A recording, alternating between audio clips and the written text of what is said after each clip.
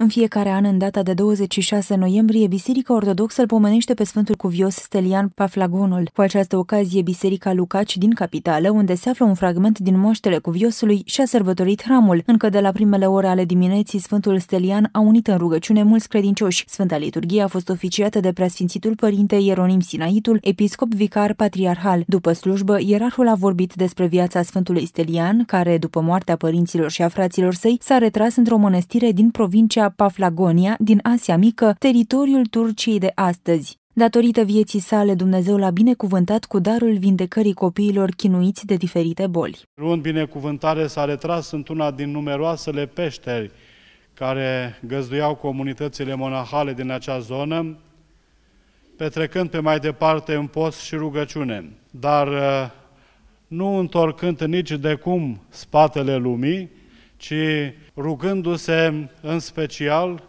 pentru cei care nu aveau copii, pentru aceia care, având copii, mureau înainte de vreme, acei cărora li se îmbolnăveau copiii și mureau, ba încă și pentru cei care au fost loviți de o molimă, murind în masă foarte mulți copii din acea zonă.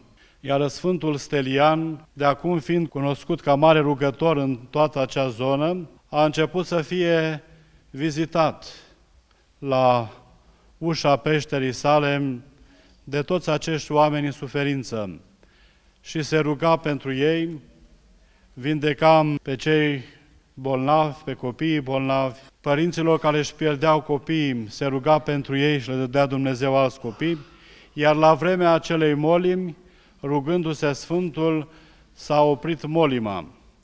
De aceea Sfântul Stelian a fost considerat acolo în împrejurim și în Biserica Constantinopolului ca protector al copiilor și al familiei. Și în acest sens era foarte respectat.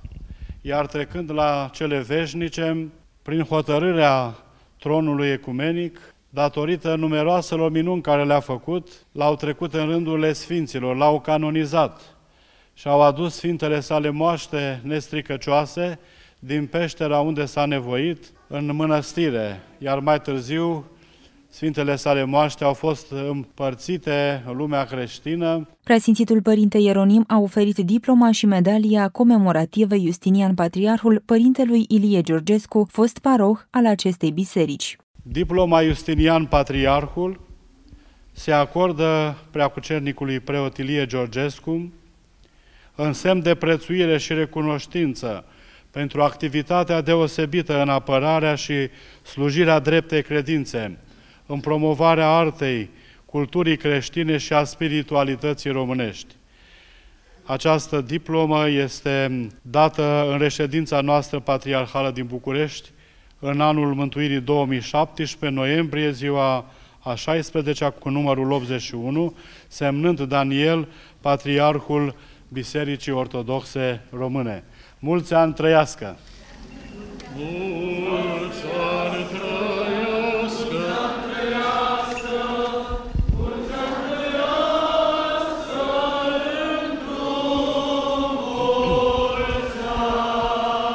De asemenea, părintelui Proin Consilier, iconosta Profor Ilie Georgescu, îi se acordă medalia comemorativă Justinian Patriarhul, în semn de prețuire pentru toate darurile și calitățile și pentru scrisul său, toate puse în slujba spiritualității și a bisericii noastre. Mulți ani trăiască! Aș vrea să adaug ceva. Poate așa ca un fel de încheiere. Și pentru mine, și pentru voi. Nu poți face nimic în lumea aceasta. Doi, ca creștini, dacă nu avem iubire, iubirea care trebuie să ne unească, iubirea care izvorăște la cel de sus, care este iubirea supremă. Părintele Parohii a dăruit preasfințitului părinte Ieronim Sinaitul o icoană ce îl reprezintă pe Sfântul Ierarh Nicolae, cel din tâi ocroditor al bisericii vechi, ctitorită de mitropolitul Ștefan în anul 1736. Sute de credincioși s-au putut închina astăzi la racla cu moștele Sfântului Cuvios Stelian, ce a fost pusă spre cinstire într-un baldachin în curtea locașului de cult.